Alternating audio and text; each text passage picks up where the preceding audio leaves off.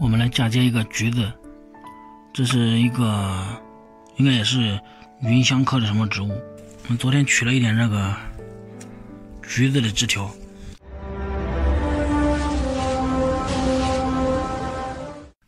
大家看一下这个树，这个上面全是这个砧木上长出来的枝条，从这个地方有一个节点往上走，我们在这个地方嫁接就可以了。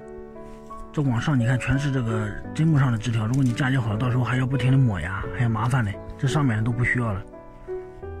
然后我们从这个地方给它剪掉。